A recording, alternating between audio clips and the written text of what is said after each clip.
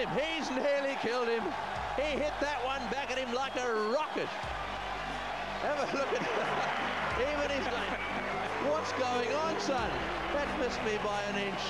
Nantie Hayward went down. What good for cutting that was, wasn't it? You saw Nantie Hayward. I never saw a thing. Just watch him. Just watch him here. He lets it go. He's on the follow through. Back goes the ball, fast in the derived, and boy, all he was doing there was holding up his hands to save his life.